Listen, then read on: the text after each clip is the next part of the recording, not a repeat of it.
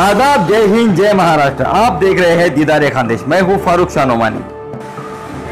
आज दीदार खानदेश में समाजवादी पार्टी के बड़े नेता अबू असीम आजमी साहब तथा मजलिस इतिहादुल मुस्लिमीन से समाजवादी पार्टी में शामिल हुए सैयद मुइन साहब से खास मुलाकात। दीदार खानदेश में देखिए, जलगांव से एजाज शाह की रिपोर्ट। सैयद मुइन साहब ने बताई एमआईएम को छोड़ने की वजह।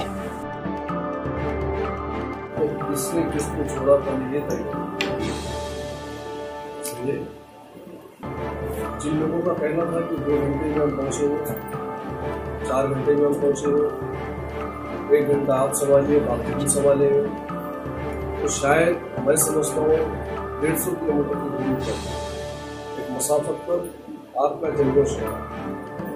औरंगाबाद के अंदर राइट्स होते हैं, दुकानों और घरों को जलाया जाता है। औरंगाबाद में अफीकों पर जुल्म होता है। औरंगाबाद में औरंगाबाद के शहरिया उनकी आँखें उन लीडरान को देखने के लिए तरस गई। जिन लोगों ने आम खास ग्राउंड के ऊपर। ये कहकर बयानबाजी की थी कि आप कुछ भी तकलीफ़ हो तो हैदराबाद हो कि औरंगाबाद के लीडरान एक घंटे में आपके दरमियान में पच्चीस नगर सेवक एम पार्टी से चुन के आते हैं। वहाँ पर एक एमएलए कांग्रेस करता है, वो चुन के आता है। एक की पोजीशन सेकंड पे रहती है। इतने वोट हासिल करने के बाद मुसलमानों के साथ में जो पुलिस की जानब से फिरका परस्तों की जानब से जो बरबरियत की गई, पहुँचने को मैं तैयार हूँ। आपने देखा न एमएलए है न 25 नगर सेवकों में सिर्फ़ एक नगर सेवक है, जिसने जाके अवाम के दरमियान में उनके आँसू पोषे या उनकी मदद के लिए मैदान में उतरा। लेकिन यही अबू आसिम आजमी साहब है, जब आठ बजे उनको मालूम होता है कि औरंगाबाद जल रहा है फिरका परस्ती अपने उरूज पर है और खाकी वर्दी वाले खादी वालों के इशारों पर वहाँ पर अखिलतों पर जुल्म कर रहे हैं तो फौरी अपने सफ़र को मुलतवी करते हुए औरंगाबाद का रुख करते हैं। एक ऐसा देश का, देश में एक ऐसा अलायंस अच्छा बनना चाहिए कि जिससे कम से कम वोटों का बंटवारा ना हो और सेकुलर ताकतें चुनकर आए। मैं कांग्रेस की नीतियों से बिल्कुल सहमत नहीं। लेकिन यहाँ एक सवाल ये पैदा होता है कि दो ही दो ही रास्ता है देश में। एक बीजेपी, एक कांग्रेस, बड़ी पार्टी हो।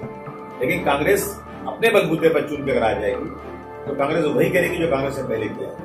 कांग्रेस को लगाम लगना चाहिए। और वो लगाम लगाने के लिए समाजवादी पार्टी बिल्कुल बर्बाद हो रहा है। दलितों को मारा जा रहा है दलितों के साथ अन्याय हो रहा है। इन सब चीज़ों को लेकर समाजवादी पार्टी बहुत चिंतित है और हम कोशिश कर रहे हैं कि हम महाराष्ट्र में एक ताकत बनाएँ और अगली सरकार जो आए बीजेपी शिवसेना की ना आने पाए। सरकार आए तो सेकुलर आए लेकिन कांग्रेस की सरकार भी खुले सांड की तरह ना आने पाए। जब से चार साल से जब से मोदी सरकार आई है इस सरकार में मनमानी हो रही है। बिल्कुल संविधान की धज्जियाँ उड़ाई जा रही हैं और एक नए संविधान लिखने की तैयारी हो रही है। क्योंकि हद हो चुकी है। रेप और आठ साल की बच्ची। रेप और मंदिर में जहाँ पूजा होती है। और उसके बाद बुलाया जा रहा है मेरठ से। और कहा जा रहा है कि मरने के पहले मुझे यानी शब्द नहीं आती जानवर है ऐसे भी दुनिया में लोग हो सकते हैं। और और ऐसी पार्टियाँ जो कह रही है कि जो पकड़े गए कातिल लोग हैं उनको उनको पकड़ उनको छोड़ देना चाहिए।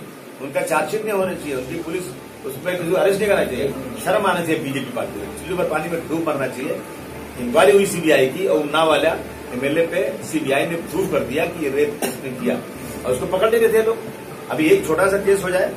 कह दो भाई इसने अभी आ, अभी औरंगाबाद ले लीजिए जिसको जहाँ पकड़ लिया मार मार के आज तीन सौ सात तक लगा रहे हैं। तीन सौ सात का मतलब होता है कि अटेम्प्ट टू मर्डर पत्थर चलाया तीन सौ सात। जो चाहो कर दो। और वहाँ रेप कर दिया लोग चिल्ला रहे हैं। जिसके साथ रेप हुआ वो कह रही इसका नाम ले रही है। तो उसके बाप को लाके इतना मारा डराया कि बाप मर गया और उसको अरेस्ट नहीं किया जा रहा है। ये मोदी जी की सरकार में हो रहा है ये जनता को मालूम होना चाहिए। ये सरकार कोर्ट कचहरी के कामों में इंटरफेयर कर रही है और इस सरकार ने उन दोषियों को छुड़वा दिया जो लोग जिनके ऊपर मक्का मस्जिद मालेगांव का लाश का आरोप था और उसके पहले रोहिणी सालियान। रोहिणी सालियान। रोहिणी सालियान ने खुद स्टेटमेंट दिया कि मेरे ऊपर दबाव है कि मैं इन आरोपियों के साथ में नमी बरतूं। और वही लोग छोड़ दिए छोड़ दिए गए। तो इसका मतलब यह है कि कोर्ट कचहरी में भी इंटरफेरेंस है। ये देश के लिए बहुत खतरा है।